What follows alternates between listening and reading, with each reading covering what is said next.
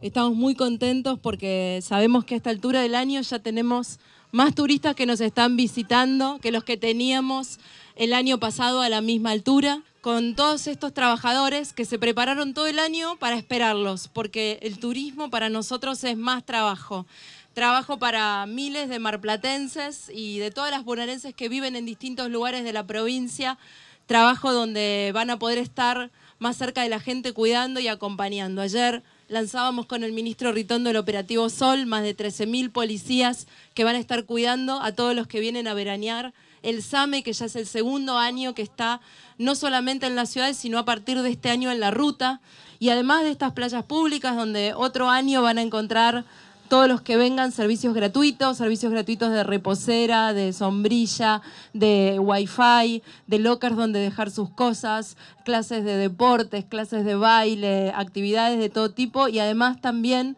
y no menos importante, accesibilidad para las personas con discapacidad. A esto le hemos sumado eh, los descuentos del Banco Provincia, del Banco Nación, del Banco Ciudad, entre el 30 y el 50% de descuento para que puedan venir a, disfrutar de, de la gastronomía, de la hotelería, del transporte, de la cultura de Mar del Plata y puedan disfrutar con menos costo su vacación. Así que son todos esfuerzos que la provincia ha hecho para muchas familias que hicieron un esfuerzo para venir de vacaciones después de mucho tiempo de, trabajar, bueno, finalmente tengan un espacio de descanso eh, y que sea lo más acompañado, cuidado y cómodo posible.